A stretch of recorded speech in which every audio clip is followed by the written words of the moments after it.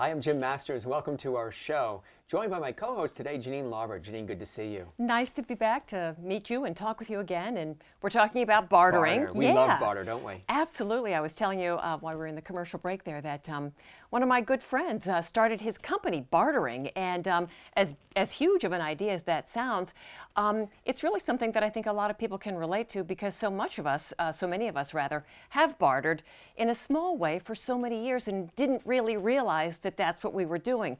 But if you take that really really cool idea, expand on it, that's what we're talking about. Phenomenal way to save money too. You can actually barter trade services and goods for other goods and services you may need as well. Work at a radio station in Connecticut where we do that for advertising. Sure. People maybe who don't want to spend the money on the advertising actually can get advertising by giving us goods and services that we sell on the air. The economy is really impacting businesses and so many people at large, and bartering is becoming more and more popular because of the economy, right, Janine?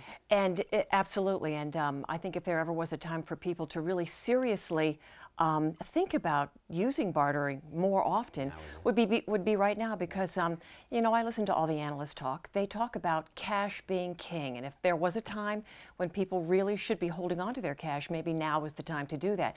And when you barter, you're not exchanging cash at all. So this is a great way for people to hold on to their cash and yet get the services and the goods that they want and that they need. And save money. That's what everybody's looking to do. They're looking to get those items that they need, and they can barter or trade the service. And one thing people should do is take a moment to think about the services that they provide that they can barter. Maybe they're a roofer or a carpenter or a gardener. Maybe they have a deli and they can trade off some uh, catering trays for something else they need, like the painting of the walls inside the deli. Barter Absolutely. It, barter it. These great. are all great ideas. I think if people took like a notepad and wrote down all of the things that they can do, yeah. who knows? They could come up with a list of maybe 15, 20, 100 different things that they never imagined that they could use as a way to barter for other goods and services that they want. I'm just going to toss this out to you. Sure. Do you have a hobby? Do you have an interest? Do you have an expertise that you've never made money for That's before right. right. that you think maybe someone else could take advantage of? That's exactly right. That's exactly. You know, hotels do it too all the time. You can barter rooms for mm-hmm. other types of services. It's just really an amazing thing, and I don't think enough people really know about the value of barter, and that's why I think a great show like this is telling the story of barter and how people can participate, and it's so easy to do. It is, and uh, there are um, there are small networks of people that's who like right. to barter. Right. There are medium-sized networks, and there are big networks. And um, I guess it's really your comfort level, or whatever your comfort zone is, how you kind of segue into the the world of bartering.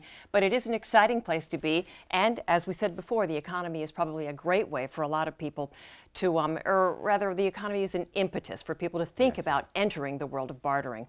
Because if there was a time to hold on to your cash, Now's it's now. It sure is. Well, there's so much more we can talk about in our next segment. We will do that.